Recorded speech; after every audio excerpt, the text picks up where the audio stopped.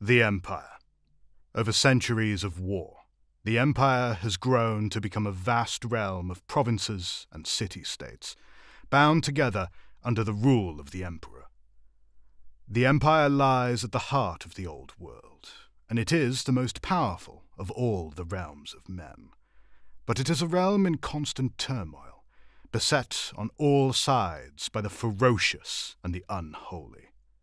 Truly, the Empire is a land of ever present danger, where death and war are never far away. Yet, despite the bloodshed, this great nation endures still, its cosmopolitan cities and military strongholds forming bulwarks against the sea of savagery. The cities of the Empire are undoubtedly the jewels in the nation's crown, where the pinnacle of human achievement is clear for all to see. Glorious palaces are surrounded by temples, the gilded minarets of arcane universities, and the flag swathed keeps of military institutions founded at the dawn of the nation. But for the most part, the Empire is a land of superstition and faith, where peasants clutch talismans to ward off evil and the corrupting power of chaos. The land is adrift in an endless sea of forest, so dense that a man can travel beneath its canopy for weeks and not see a glimmer of sunlight. Nonetheless, the Empire is a truly vast nation, and all the more powerful for it. The Empire stretches from the icy sea of claws in the north to the soaring black mountains in the south. It is a land covered by dense forests and surrounded by mountain ranges, all infested by murderous brigands, foul mutants, and ravenous monsters. Isolated against this treacherous backdrop are prosperous cities, where skilled craftsmen and affluent merchants trade their wares, and where brave soldiers and noble statesmen work to safeguard the Empire's future. Beneath this veneer of sophistication, however, the Empire is a brooding land full of ignorance and superstition, where fearful peasants clutch talismans to ward off evil sorceries and appease the gods of old. In stark contrast to the wealthy districts are slums, rife with thieves, vagabonds, and heretical cults that prey on their fellow man.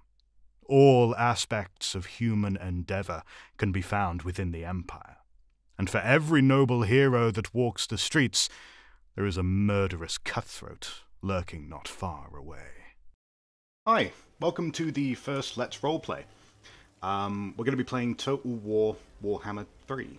Uh, it's just released the Immortal Empires beta, which is a new grand sandbox campaign that takes place across the entire Warhammer world. We get basically the entire map now. Um, they've brought in all of the factions from Warhammer 1, Warhammer 2, and now the newly released game Warhammer 3 as well. Um, they've tried to fit them all onto this map. I think they've done an excellent job. Um, when this game first released, it wasn't in the best of states, uh, but now it's uh, it's it's a really enjoyable experience. Um, and since they announced Warhammer 3, I've been thinking about doing this series for a while. Um, and after realizing that, you know, Immortal Empires has come out and it's good, it's not, you know, um, bad like some of us might have been expecting it to be, particularly after the release of Warhammer 3. Um, since it's in a good state, I figured I'd start doing this series. Uh, the idea behind this is uh, I'm going to be playing um, different factions as we go through. Uh, we're starting with the Empire here, starting with Karl Franz, um, who is the is the Emperor of the uh, Empire of Man, which uh, starts here in Altdorf and uh, reaches out across the entire empire, which covers more or less this region here that I'm circling with my cursor. Um, this is going to be we're, going to be trying to roleplay this campaign as much as we can. Um, there's going to be little interludes here and there, like with the introduction that I just did, um, where we're going to have a bit more uh, of an experience exploring the lore related to each of the factions that we're playing as.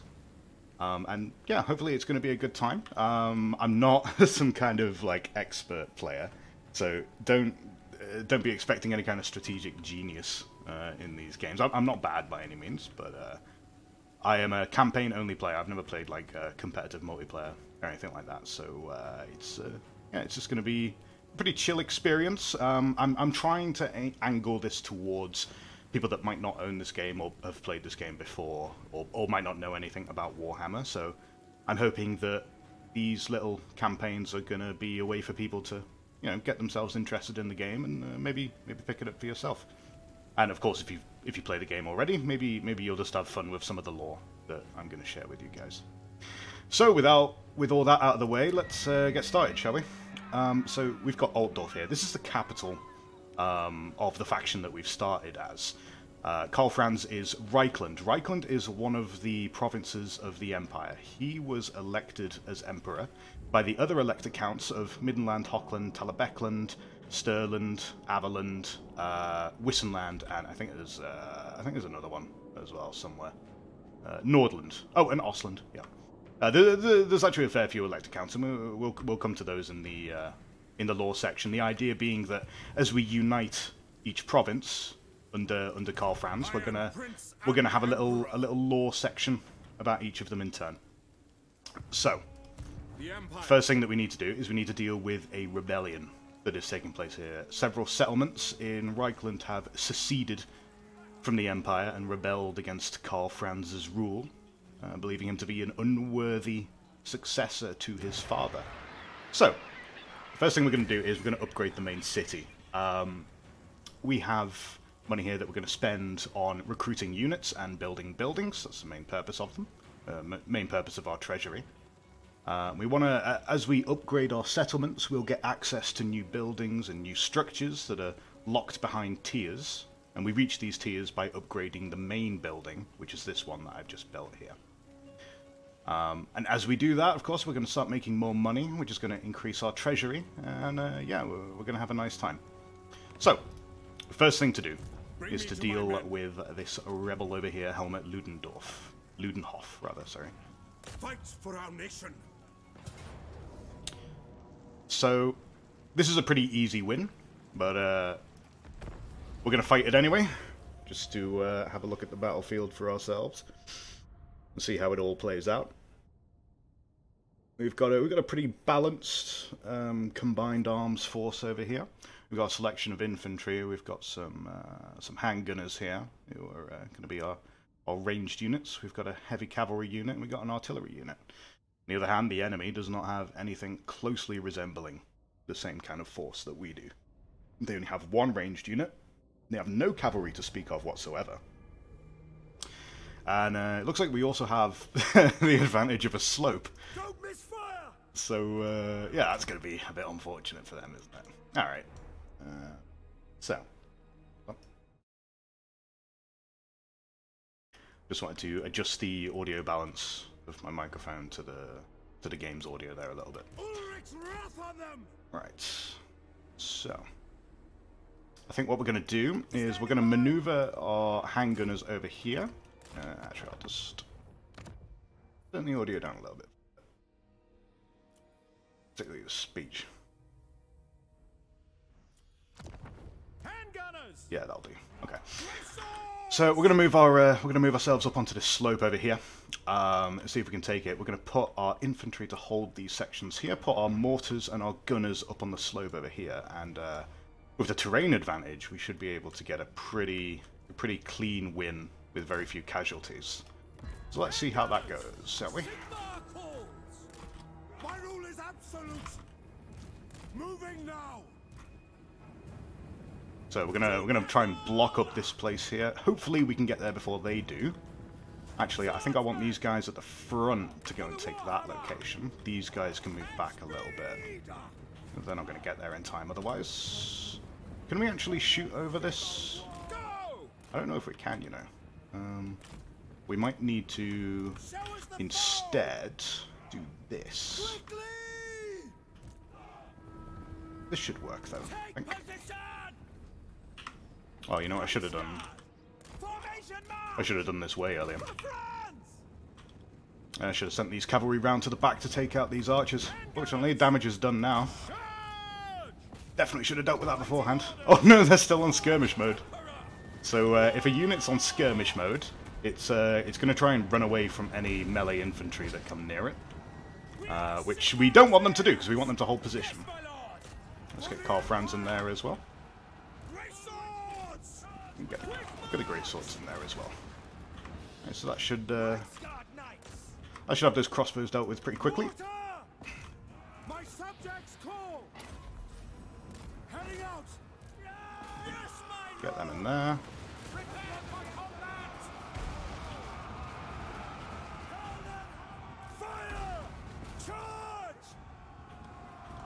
Okay, that's them dealt with. Uh, we can uh, shoot downhill into these units. We should have an angle, I think. Do you have an angle? Do they not have an angle? Really? You should do. Alright. In any case, we can uh, come into the back of them here. It should be a pretty clean, easy win, as I said. We took a few more casualties than we needed to. Our handgun has really got messed up there because I uh, made the mistake of not sending the Reiksguard round to deal with those crossbows. But, uh, yeah. We'll take what we get. It's fine. Now we just need to, uh, just need to break this leader here. We want to stop the mortar from firing now because there's such a mix-up of troops here. We'll probably end up causing a fair bit of friendly fire, and we don't want to do that. The Empire endures! War! Come on, take him out.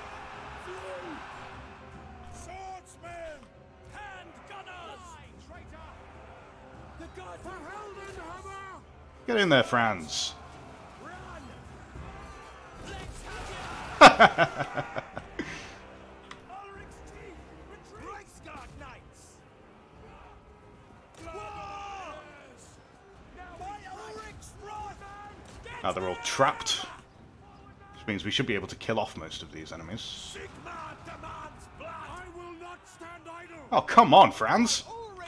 Take him out already! What are the great swords doing?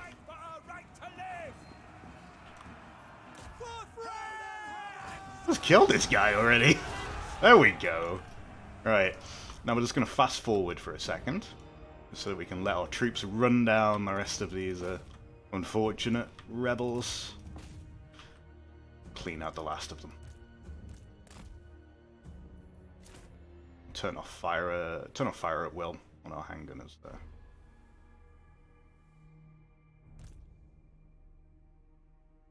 Surprised by how resilient they are.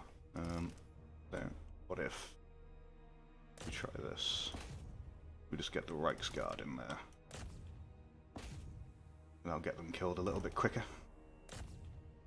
So every single unit here has an individual health bar. Um, you can see how much is remaining for that unit, um, just there on the top of their little icon. So you can see that our handgunners over here, they've ended up at about half strength. Um, each individual man in the unit also has an individual health pool, um, but the unit itself shares uh, collective HP as well.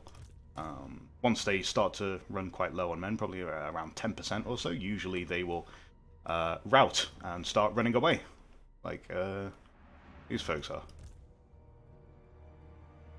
What we're doing here is we're, do- we're just trying to kill off the rest of them so that uh, they can't run away to live and fight another day. We want them dealt with here and now.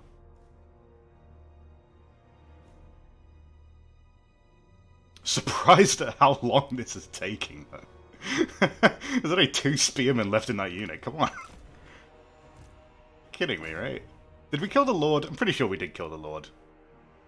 I don't remember getting a notification for it, but I wasn't watching specifically. Alright, that should be fine. Okay, decisive victory. Happy days. That's what we were predicted in the auto resolve. If we got any worse than that, that would be kind of embarrassing. uh, so you'll notice that we ended up at about half health on our handgunners over here in the battle, but it seems like they've gone back up to about 80% of their health. Now, the reason for that is that it's a, it's a bit of a quirk of the system, really. If a unit survives, um, if, if, if an individual unit takes damage to their individual HP, but they don't die in the battle, that individual unit will get their health back to full after the battle, which means that if a lot of your units are damaged but they didn't die, uh, when they restore their health, that collective HP will increase as a result. That effect does not apply to the likes of single entities like Karl Franz here. all of the damage that he took during the battle, he keeps. Um, so he's uh, he, he did get a bit of a beating and he, he lost a bit of his health. But the handgunners, because most of them were just damaged rather than dead, uh, they've actually come back to a decent amount of health. So that's nice. Uh, that's a little perk. And not only that, but uh, we can use take on cap. Actually, we don't want to do that because we're going to replenish. But we could, if we wanted to, um, take on captives to recover some of the health for the units uh, that were damaged. But we don't need to do that. Um, we're going to instead execute the captives. Uh, we're going to kill them so that we can get uh, some increased experience, clean up the stragglers, and uh, we'll teach people not to ever rebel against us again. Let this serve as a lesson to them. I Okay. here. So, with that dealt with. Um, ooh. Interesting. Carroburg Greatswords. Oh, okay. Um, this is actually my first time playing Karl Franz, believe it or not. Uh, last time I played him was in Warhammer 1. So I figured I would start with Franz because um, because he's like, you know, the Empire is like the main faction of Warhammer, and Karl Franz is the leader of the Empire. So I thought, hey, why not start the series with uh, with the main main man? But uh, yeah, it's um. Oh, I didn't actually apply the changes here. That explains why it was still so loud. Yeah, there we go. Uh, calls? So here we have Franz's skill tree. Um, basically, as our character levels up, we can see what level he is over here in the top right. Uh, rank, technically. It's not called level, but the same thing. Um, characters can gain levels. I think they go up to level 40 in Immortal Empires. It might be 60, I'm not sure. It's either 40 or 60, one or the other. Um, and as they gain levels, each time they gain a level, they will gain a point. Uh, and these points can be placed into these different um, skill trees. And as you unlock this one here, you'll unlock this set, and then when you fill out enough from here, I think you need four of them. If you, if you fill out four pips in here, you'll get this one, and then you do another four pips in here, and you'll get this one, so on and so forth. Same applies for each of these other trees in turn. Normally, the blue line relates to campaign map bonuses, bonuses on the on the campaign map where your character moves around. The red line applies to bonuses for your troops, and the yellow line is bonuses for the character themselves to make them stronger. And the ones up here at the top are usually uniques.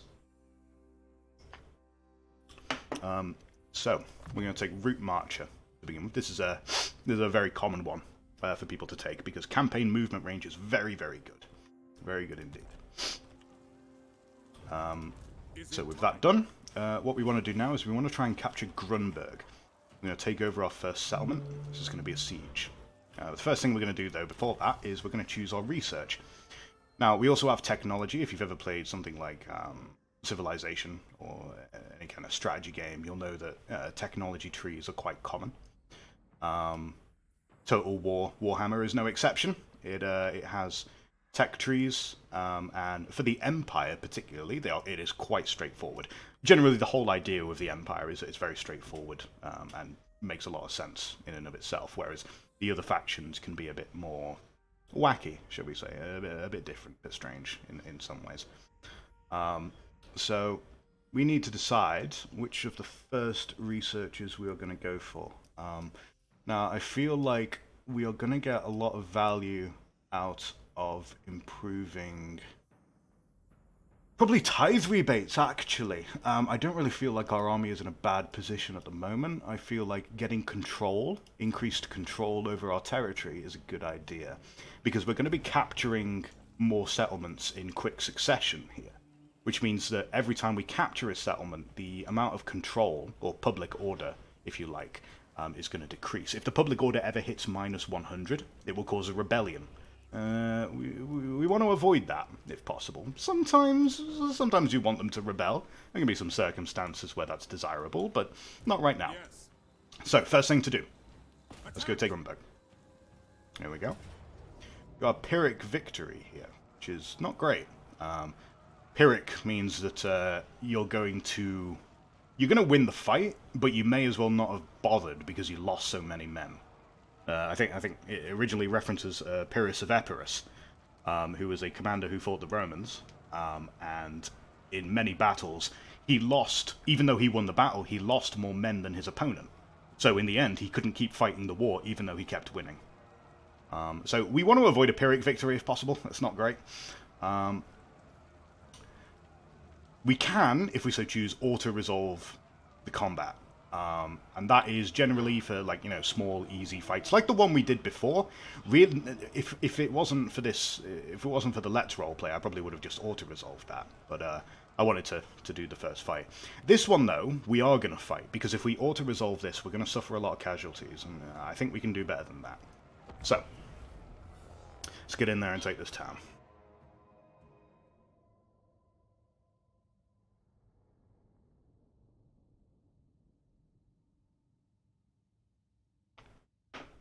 something really cool that um, Warhammer 3 did, as opposed to its predecessors, is um, it's introduced these minor settlement battles. Now, they are a bit controversial because there are some content creators who have been saying that, uh, oh, they, they are uh, they're too prevalent and that we don't get enough field battles. And uh, to an extent, I might agree with that kind of. Um, but I think that at least for now, they're they're quite good. I don't really know how you'd resolve the problem, but um, I think that the minor settlements are a good addition, and they're interesting.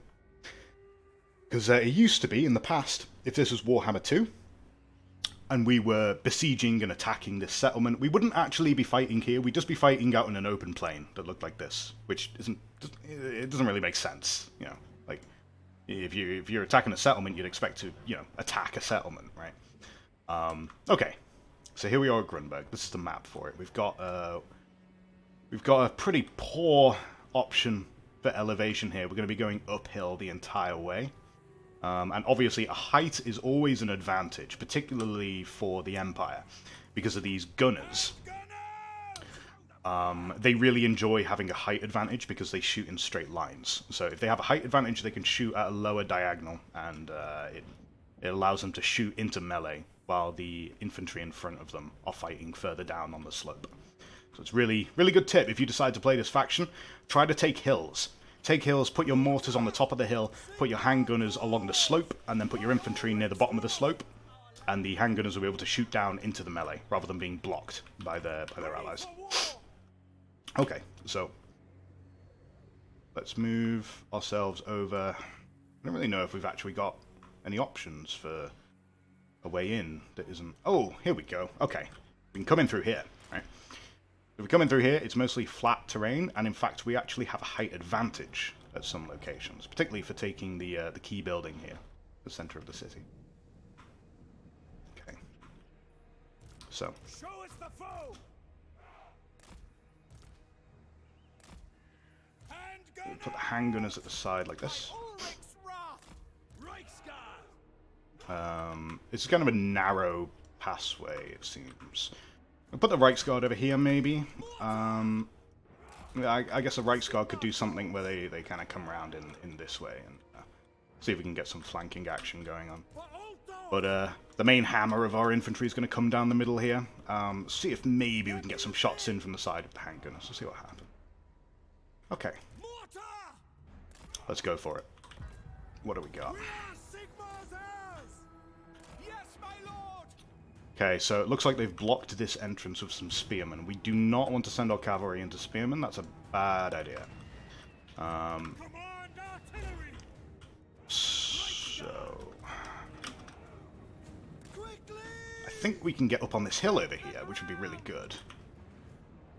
Now, I want these handgunners see if they can take out that tower that's going to be shooting us over there. Alright, let's get in there. Get in there, boys. Let's go.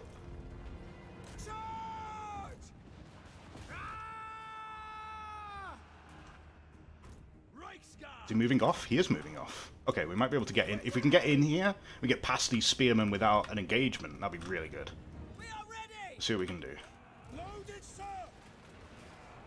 How effective is that? It's not very effective, is it? We're wasting ammunition there, basically. What's going on in here? Okay. Can we get past? Can we get past? Come on. Come on. Mind you, they're still moving. They're not braced. You know what? Have them. Have them.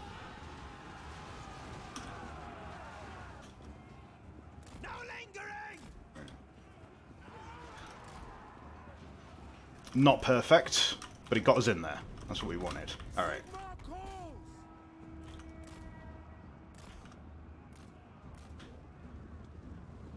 What we really want is we want the infantry to go and engage. We want the handgunners to have a clear line of sight.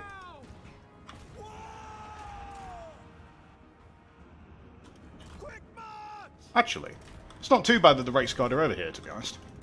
Because now they're distracting all these units, and we can just kind of get in here. We got free reign. Let's go.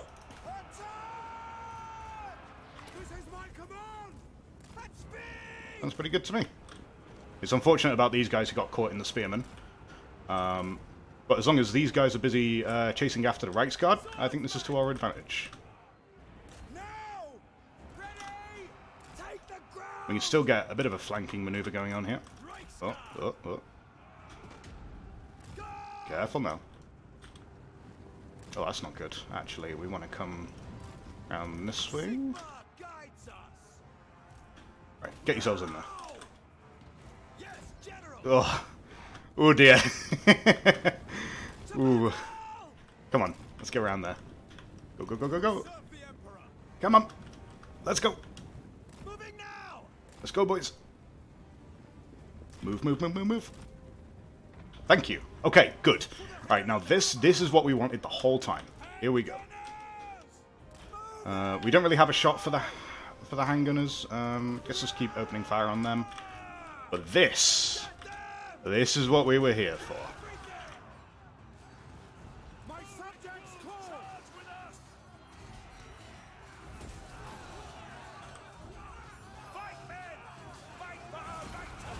There we go.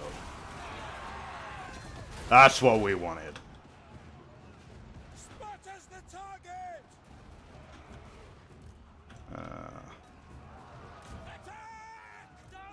Okay, there we go. See, these guys have routed. Great swords! Ready for war! Reiksguard knights! Oh, Reiksguard back. We're going to go in for another back charge. Don't give them an inch! Great swords! Battle and blood await! Taking position! Ooh, They are wavering! Come on. And now, we charge. Not particularly a great one because of all the routing swordsmen, but it'll do.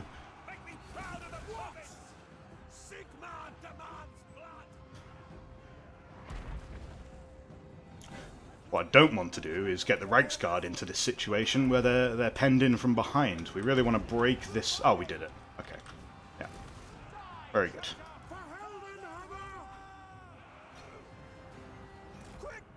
So now, we're going to pull the Reiksguard around, send them back round here, while these infantry units push in.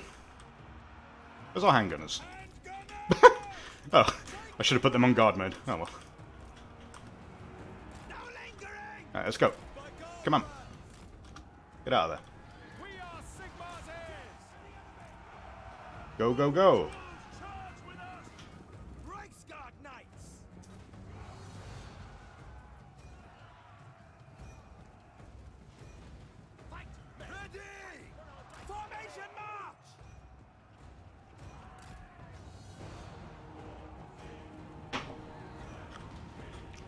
They should be pretty straightforward now. We could, of course, send out, if, if this was a more protracted engagement, we could uh, go out and try to capture some of these supply locations to stop them from uh, building more towers and barricades, but uh, I don't think that's going to be necessary in this situation. Should just be able to break them here.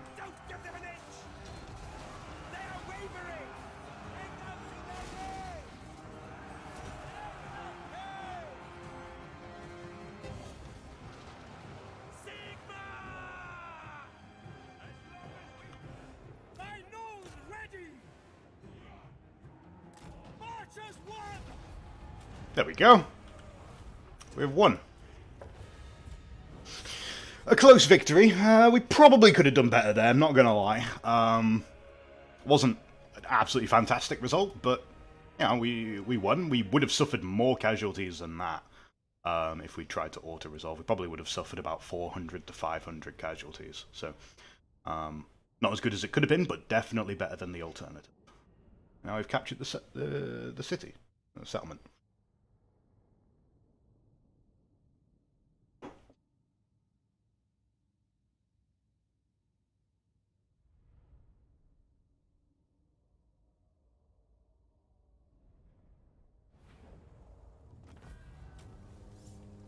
Okay. So, after we capture a settlement, we have several choices. We can uh, occupy the settlement, we can uh, loot it for valuables and then occupy it, or we can just sack it and leave. Or we could burn it to the ground if we were so inclined, but uh, in this particular situation, we don't really want to go looting and sacking our way across our own homeland. I might set a bit of a bad public image and maybe you know give some legitimacy to the idea of rebelling when when the emperor comes back to uh, burn his own people to the ground. No, we're just going to uh, peacefully occupy the settlement, try to uh, try to restore some public order here. Um, okay, so what have we got in here? We've got a got some grazing pastures. We're growing some cows here. It's pretty useful. Uh, It's going to increase our casualty replenishment, which is going to be helpful. Um, casualty replenishment refers to the amount of healing that a unit gets each turn, as uh, it drafts up new units and uh, injured recover and so on, and repairs are done, etc. Um, they they will recover health at the end of each turn, assuming they are not attacked or otherwise prevented from replenishing. Carl Francis ranked up again. Um, oh. Sorry, that's a phone call. Let's reject that. Uh, okay, so we're going to take the uh, red line trait, I think. Uh, which is going to increase the experience per turn for each unit in our army. It's quite helpful. Ready. Um, so uh, units can uh, rank up over time. You'll notice that uh, this Reiksguard unit has acquired rank 1, uh, which is going to increase its leadership, attack, and defense. The more ranks that they gain, uh, the more that these qualities increase over time, and eventually they can become quite powerful. Uh, quite helpful. Um, Okay. right by Sigmar's crown. Last thing to do is check our diplomacy screen. Once upon a time, in the days of Warhammer 2, you would need to individually go through every single faction check whether or not they might be interested in making treaties with you. With Warhammer 3, they have introduced a wonderful quality of life feature called Quick Deal, which has been brought over from another game of theirs called Total War 3 Kingdoms. Who calls? Um, and with Quick Deal, we can choose which type of diplomatic agreement we want to look for, right. and we can find out, just from a glance, all of the factions that might be interested in taking them. So, By Sigmar's will.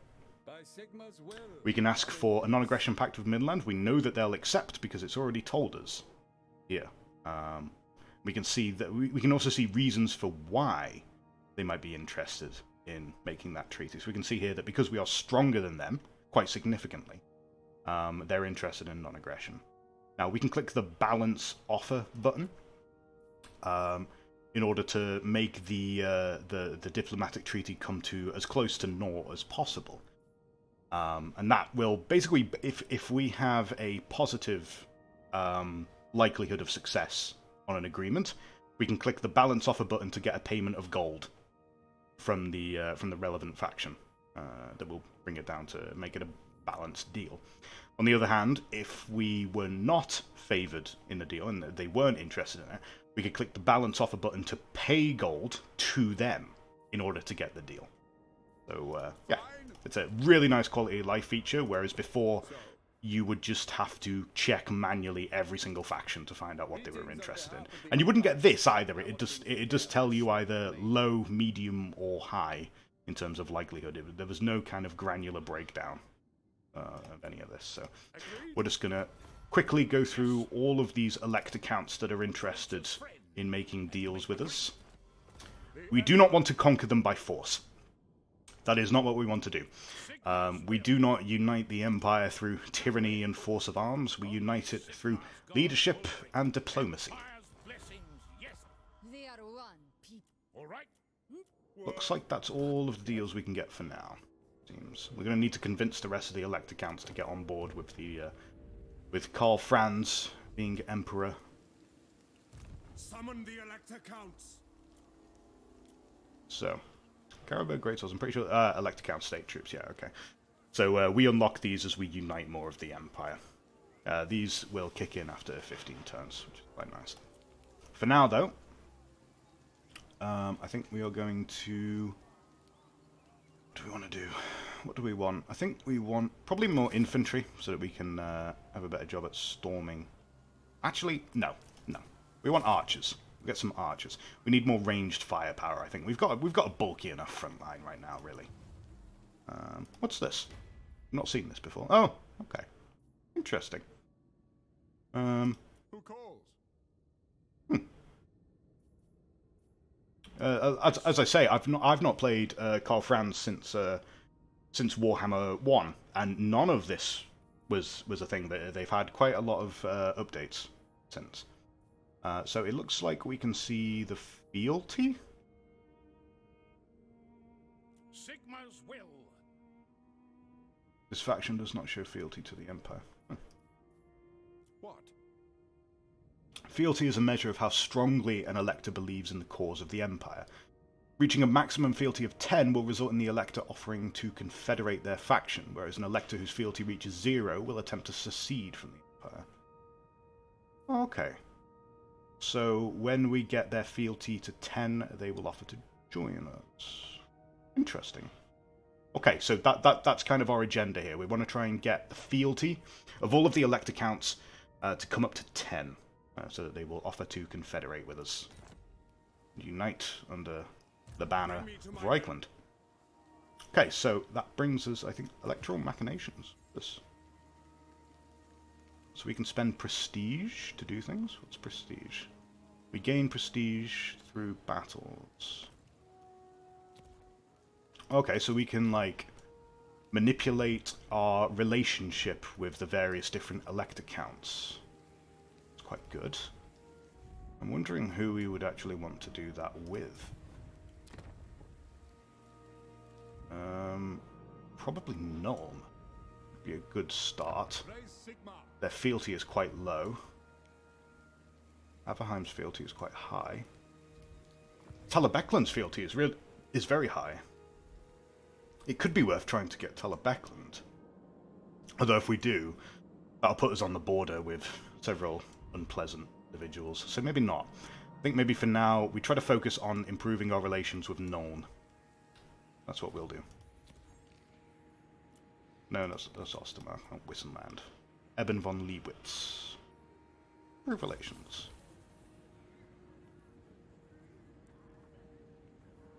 Okay, I am Prince now we can end the turn.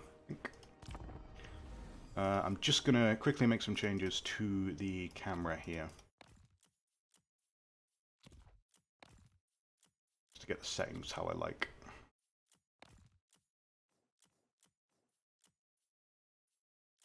Okay, that should be fine.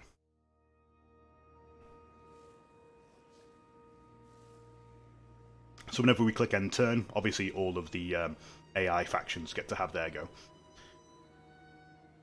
And uh, in Immortal Empires, there is quite a lot of them. There is uh, 277 to start with. You can already see that uh, uh, five of them have been wiped out already. Hmm. uh, four of them. Is it time? hmm. Okay. So I think the next step is we we need to take Ubersreik. The settlement over there, Eilhart, which has a rebel army mustering inside it. It's not great. Now, I think what we want to do right now is get ourselves a extra... Ooh. Naples poison attacks? Oh, okay. Yeah, I think we're uh, we're going to look at getting ourselves a second lord. I'm just wondering what we want to get ourselves. Um, and I think it's probably going to be this chap over here, Griswold Aldrich. So an Archlector is a battle priest lord. They are capable of using battle prayers um, to enhance the combat potential of uh, of Imperial troops, which is going to be really helpful for us. Um, Now, this fella in particular, they all have traits that make them kind of unique, and this this this chap in particular, he has poison attacks for some reason. So, yeah, that's uh, that's going to be quite helpful for us, I think, because we don't have access to any poison otherwise. We'll take that. Grand Hammer of Sigmar. Actually, undo that. Can we get? Yeah. Okay. We want to get these. We need to get these battle pres um, basically straight away. These these are so good. They're going to be amazing. Um, so with that done, we're going to move over to here. Pick up the pace. Start heading through the Reikwald Forest.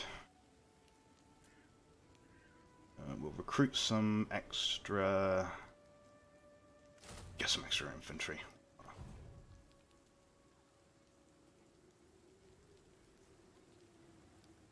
Let's quickly check the diplomacy tab, check if there's anything new. Well, there is. Yes, there we go. Ooh, that's a hefty sum of cash. Right there. Yeah, take that, thank you. Yeah, another one here. Yeah, thank you. We'll get some from the uh, from the dwarves over here as well. Uh, they're also interested in a non-aggression pact with us, probably because we're significantly powerful. Kislev, uh, I'm sure we'll uh, we'll talk more about them later. They're uh, willing to have a trade agreement with us, which is nice. We'll take that. How about military access treaties? Oh yeah, Yeah. Friend, and make your is uh, Midland interested in a military access treaty? So is Talabecland. All right. and uh, so is Wissenland, which is really good. Okay, so military access treaties are great because they give us the freedom to move our armies through their territory without suffering any diplomatic penalties. Uh, so that can be really helpful for us, particularly if we need to go marching around the Empire to defend the elector counts from various evil factions that want to uh, do us harm. Uh, uh, I didn't check whether there was any alliance options. No. No, nothing. Okay.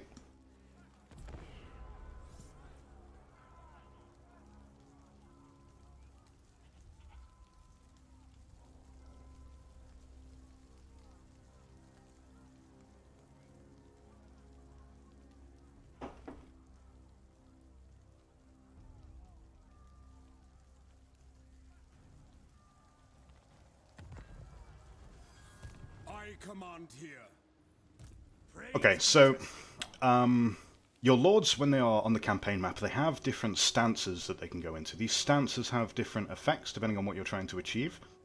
Um, we'll go into these in a bit more detail later, but what I'm about to do now is I'm going to put the arch. Normally, the arch lector over here that we recruited in Altdorf, he wouldn't be able to reach Ubersreik this turn. You'll see that the edge of his movement range is this this little line here, so he can get to. Uh, he can move along over to here. That's as far as he can go. He can't. He can't get any further. You'll see this uh, this red line here. But we can activate forced march stance. Now he will be tired in battle, and uh, there are various other dangerous aspects to forced march stance. For example, if they are attacked, they can't retreat and will be wiped out immediately. Um, so forced march is quite dangerous, but there are some circumstances in which you want to use it. For example, uh, Karl Franz is fresh and ready to go. Um, so he can get in and he can reach Ubersreik. Now he's going to lay siege to Ubersreik. And now I'm going to move the Archlector up to stand next to Karl Franz. Even though he's in forced march stance, he can't attack in forced march stance, but he can reinforce. So he can help Karl Franz do the fight. Right? Here he is, and he, he's going to be coming into the battle himself. Now we're not going to fight this one. Um, this is this is going to be a complete wash. They they do not stand a chance. We got a decisive victory predicted with low casualties, so we're going to auto resolve this fight. And of course, we would have done much better than that. that is uh, the the auto resolve is not particularly generous uh, with the amount of casualties that it inflicts. Um, it, it treats you as if you are uh, a moron that, that that cannot command their army properly. But uh, whatever, it's it's fine. We're gonna occupy the settlement here. Okay, uh, it's, nah, it's not great. It's not great. We do have a battle coming up. Probably should have fought that one, but whatever. It's fine. It's all fine. Okay, Yes. To unite So- the provinces. get ourselves an extra infantry unit and an extra archer as well. Um, now that we've uh, captured Ubersreik, um, we've only got one more province to claim, And we brought Reikland under our control. Uh, Karl Franz is now mounted, which is very good. Do we want? That sounds good. Get the Emperor's Finest, which will increase the melee defense for our infantry units. That'll be nice. Um, Sigmarite Arch-Lector. so we've got a fight with uh, units in Eilhart coming up. We do have quite a lot of money. More money than we know what to do with, really. Bretonnians over here are uh, interested in a non-aggression pact as well, which is great. Again, all of these factions that I'm engaging with, this is uh, very preliminary stuff. They'll get their turn, they'll get their time, we'll, we'll give them attention, and, and of course we're going to do more campaigns where we will play as all the other factions. We'll get a nice experience of what they're all like, but for now, focusing on Karl Franz and the Empire. Foremost of the provinces is Reikland, sheltered by the grey mountains and carpeted by the Reikwald forest. It is the westernmost of the Empire's great provinces, and it is the seat of the imperial government and the richest, most cosmopolitan province in the Empire, and not just because Reiklanders say so. From north to south, from the edge of the wasteland to the borders with Wissenland, Reikland is blessed with fertile farmland, vineyards, and dairy fields that produce a surplus of products for export. The mines of the Grey Mountains yield many valuable ores and stones, from iron and gold to marble and gems, while the Reikwald forest, generally safer than woods in the other parts of the Empire, yields valuable timber that supports a thriving boat building industry. Government patronage helps too. The emperors, who since Wilhelm overthrew Dieter in the 25th century have also been the elector counts of Reikland, have lavished imperial largesse on their home province. Canals, road building, programs to improve the methods of farming, encouragement of the development of free towns and the mercantile classes, all these have served to make the Reikland a gem among the Empire's provinces. The wide river Reik is the province's lifeblood, and a constant traffic of barges carry goods and people to and from every corner of the empire.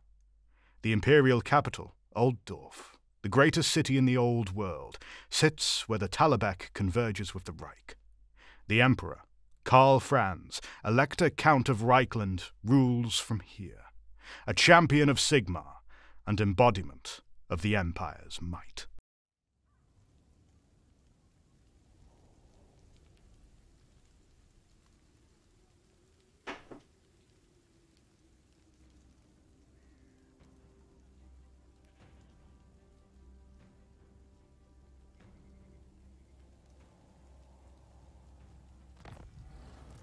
Bring me to my men. I serve Sigmar. So, Here we go then. men, I will fight with you.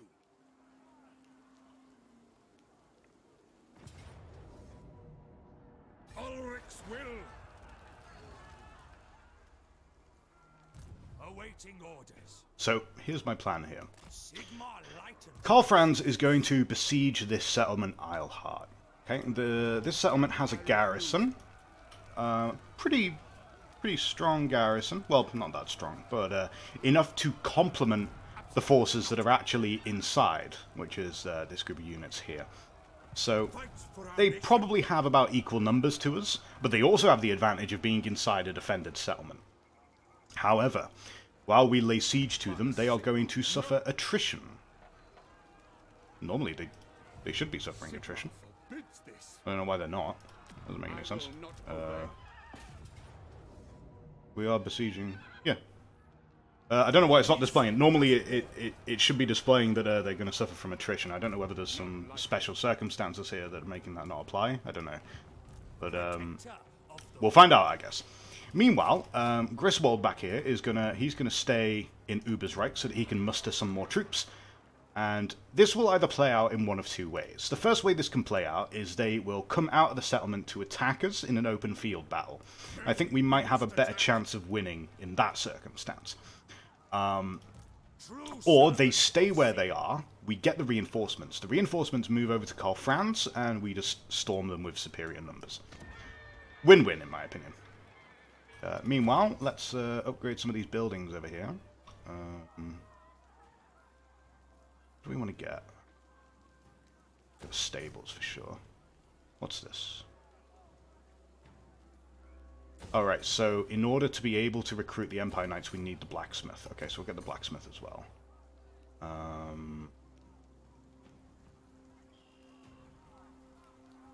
and then we'll upgrade Uber's Reich. Grunburg isn't really under threat at the moment. Okay, looks fine. Honor before glory. Some more uh, non-aggression pacts. New trade deals, military access of Hochland. Welcome, my country. Affirmative. It's fine. So, Protector of the realm. Okay. Um, so we have some more prestige over here. So we're gonna do another electoral machination and improve our relations with Wissenland again. men, war calls. Okay, let's see what happens.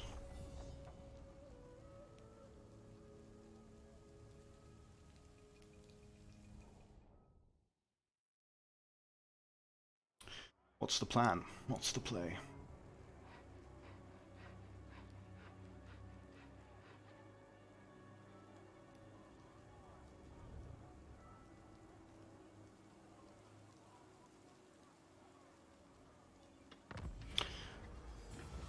Hmm. Stirland demands region. Historically, the region of Flensburg has been ruled over by Stirland, but it's currently under the control of the elector count of another state. Alberich Haupt-Anderssen, the rightful elector count of Stirland, has asked for your help in restoring his rule over this land immediately. Uh, so we can improve our relationship with Stirland or Averland. Now, Stirland... Averland is on the border with Sylvania. Sylvania is ruled by the vampires. Stirland is closer to us, Averland is on the border.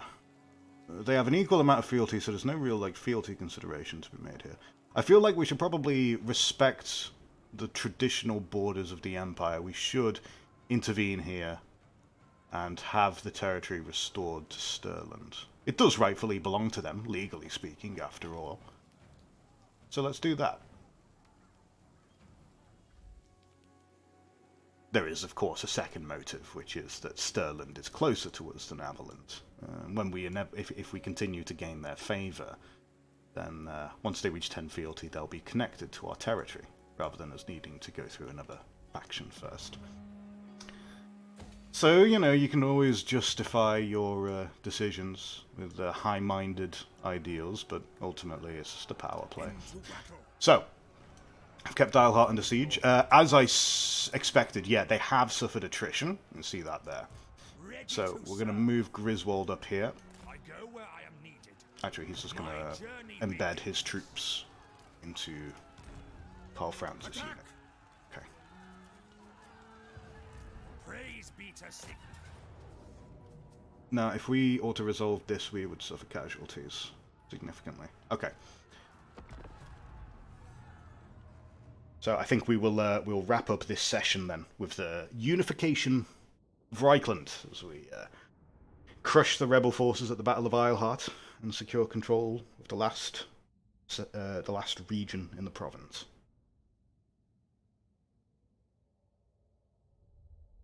Maybe we'll get to see the uh, see the Arch Lector at work as well.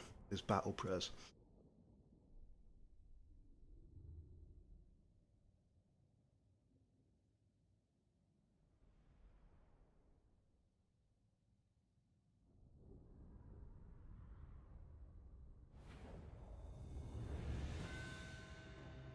Okay.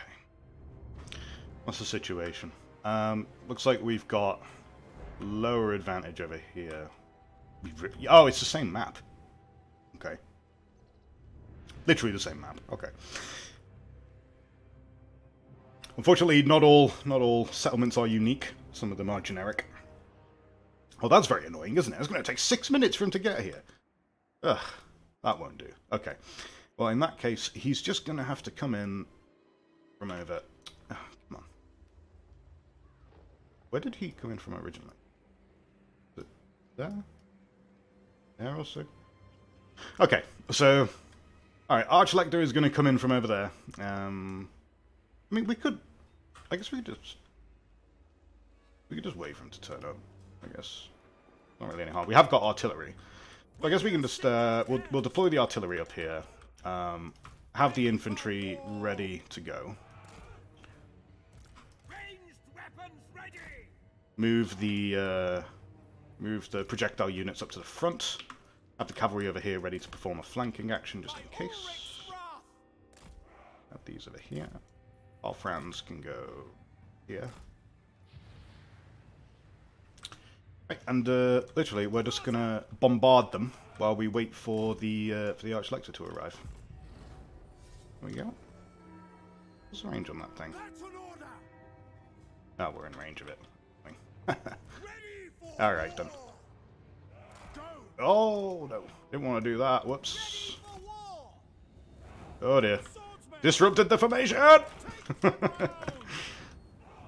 Okay. there we go. Get Karl Franz moving up as well. Open some artillery fire up over there. Now the only issue here, of course, is that we've got this uh, this bloody tower over here that's going to be causing us a bit of a head, bit of a headache until we take it out. So uh, it's going to be a bit of an active fight while we wait for the Archlector to turn up, unfortunately. But we're not gonna we're not gonna push hard into them. We're just gonna kind of secure this area, and then if they want to come to us, they can. But we're gonna wait for the Archlector.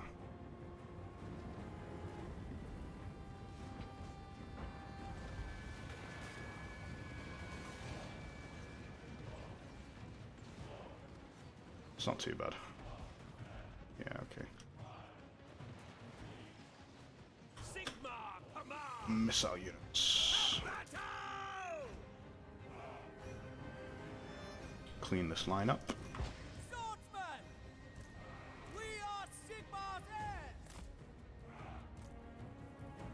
Moving faster!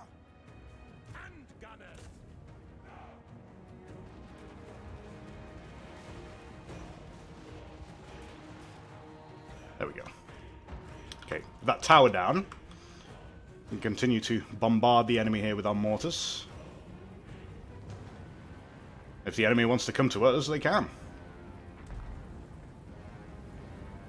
what is this accuracy? This is useless. Oh, there we go. We'll take that. Thank you.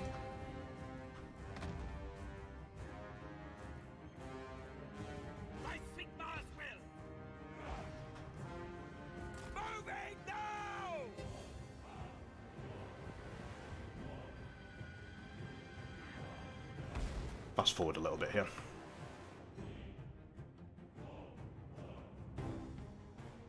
Ah, they got another tower. Nightmare. Oh, no, no, no, no, no, no. Thank you. Ha! they tried to come close. It's not going to work out too well for them, is it? Uh, let's change target here. Go for that instead. Come on, Archlector. Be on guard mode as well, actually. We put these on guard mode as well. We don't want them like, going too far away from the formation. Right, just uh, about 30 seconds or so, well, 40 seconds until the Archlector arrives. Start the events. Loaded, sir! Charge! Prepare for combat! Take out this tower.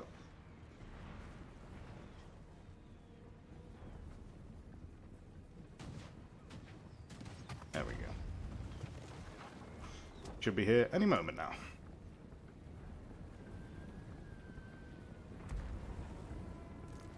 There he is. Hey,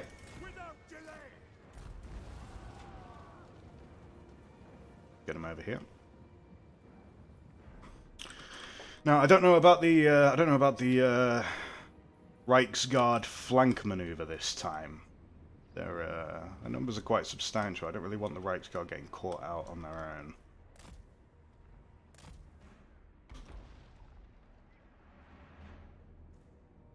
I'd say we're probably on about equal number, really. So let's move the Greatsword and the Halberdiers up front. We'll, we'll, we'll use the heavy infantry that we've got as, like, shock forces and uh, push ourselves in there. Another of these damn towers. Right, shoot them. Shoot them dead. Gun down these spearmen. Come on. Let's go. Get the Archlector up there. There we go.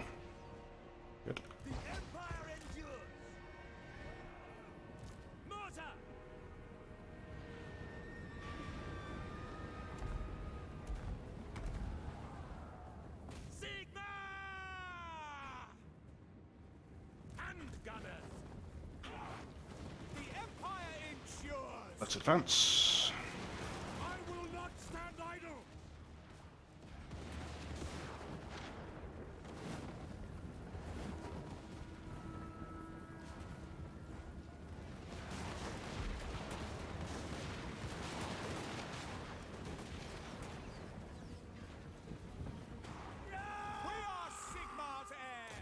like they're going to let us in. We'll take that.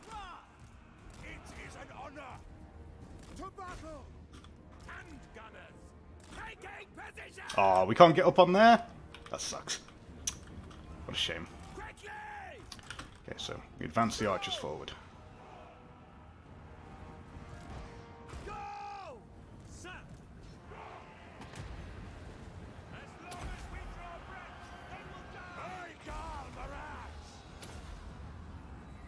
And there's the battle prayers at work.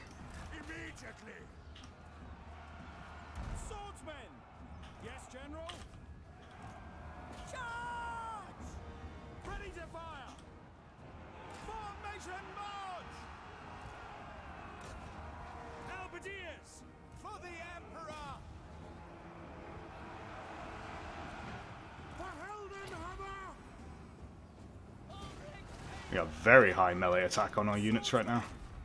We are ready! At speed! Get the gunners over here.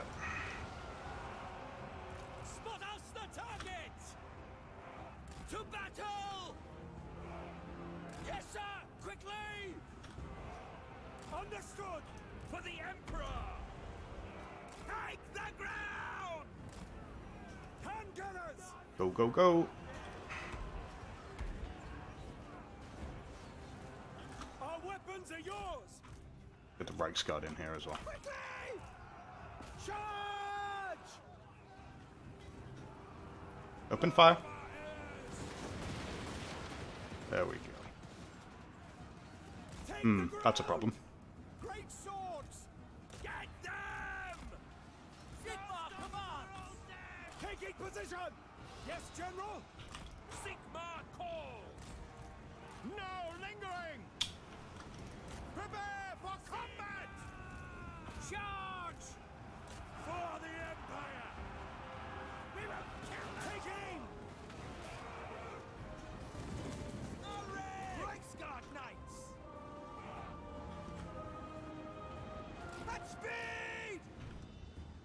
Some reserve units over here we can start moving in. I don't like that. I don't like that one bit. Right, let's get the Reiksguard in there so we can deal with these bloody archers. Our handgunners are getting shot up pretty bad right now. Not what we want. Now, I appreciate there is a large number of spearmen there, but we're not really in a position to uh! Have the luxury of being uh, prudent about the presence of those spearmen. We really need to get rid of these crossbowmen. I don't know what these Reiksguard are doing. they are looking a little bit confused there. Alright, that's fine. I guess it's a surge forward. Why not? Let's go.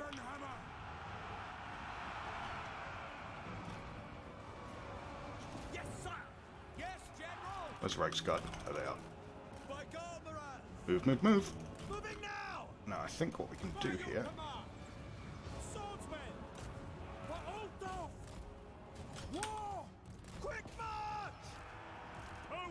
orders! Death to the faithless! By the twin-tailed comet! For Heldenhammer! Let's go. Get them in here. Take position! Now we strike! Forward, men!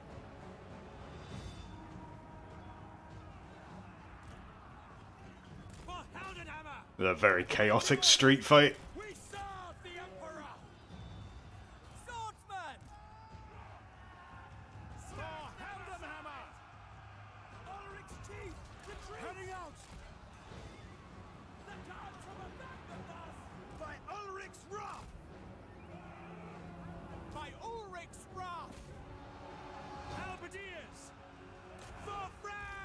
This is a melee. Now! At speed! In the Emperor's name!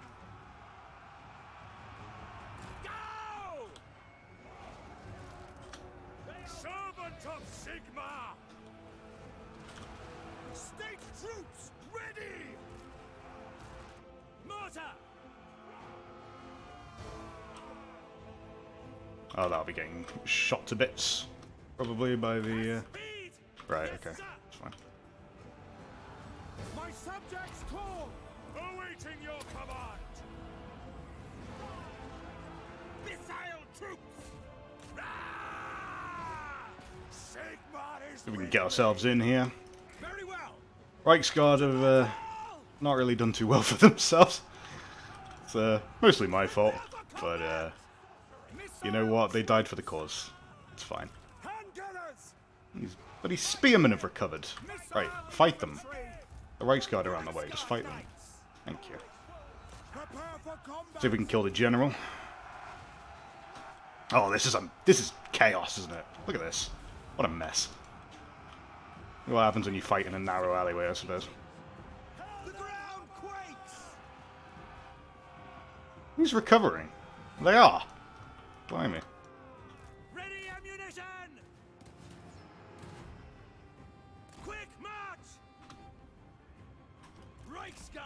Run them down. Make sure they don't come back. Let's get in there. Let's go.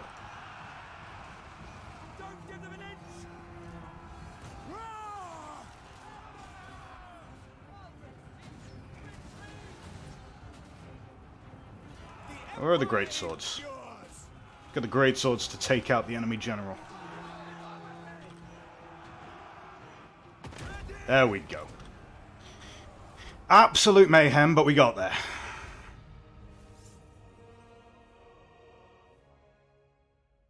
Actually, not as bad as I thought it was going to be, all things considered. We were actually outnumbered in that fight. Just about. Only slightly. Or, or were we? No, yeah, we were. A little bit.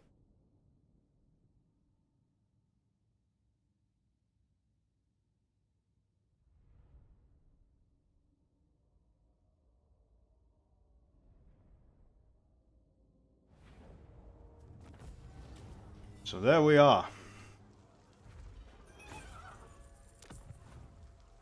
The secessionists have been driven out of Reikland. Province has been secured. As is my right by Sigmar's crown.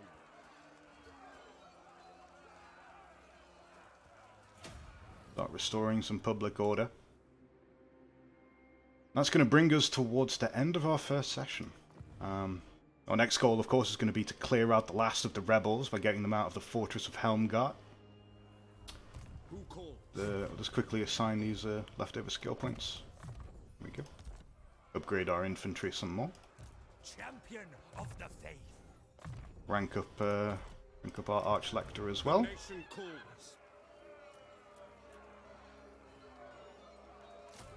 Oops. There we are. So there we have it. That brings us to wow, turn five. yeah, turn five in an hour. Blimey. Okay. Well, um, thanks for watching. Um, I hope you had a good time. Um, we're uh, we're going to keep going for, with this. Uh, I think we'll probably try to achieve the short campaign victory. Uh, when we get to that point, we'll I'll I'll decide whether or not I'm enjoying it enough to keep going for the long campaign victory. Um, if we don't, if we stop at the short campaign, we'll probably move on to a different faction, see what they're like, uh, learn about their lore as well. Um, yeah, that brings us to the end. So um, this is also my first time doing this kind of thing, by the way. So if you've got any feedback, any suggestions, um, that's that's always welcome. Um, yeah. Cheers. See you next time.